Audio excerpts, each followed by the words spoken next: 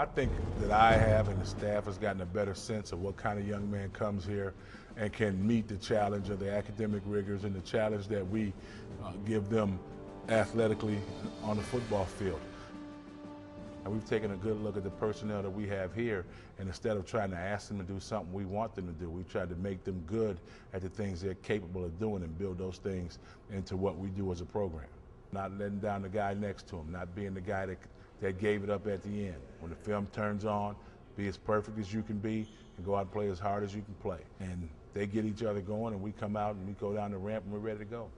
We've got a good class coming in. Uh, it won't be as many this year playing uh, in the varsity games as has been in the past two years, and that's a good thing. That means some of the kids that we've brought in are maturing and are going to be on the field for uh, hopefully an extended period of time in the next two seasons. I think the league is up for grabs, but I think that there's some clear-cut choices at the top with Harvard and Yale, and you have to take it one week at a time. You're going to have to step your game up whether you, when you're playing one of those two teams. We got to come out and we've got to claw ourselves back to at least 500, if not better.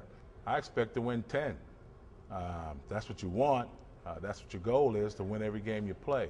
I expect to see improvement throughout the season, from the first game you play in September to the last game you play in November. Not resting on your laurels, not thinking that you know everything.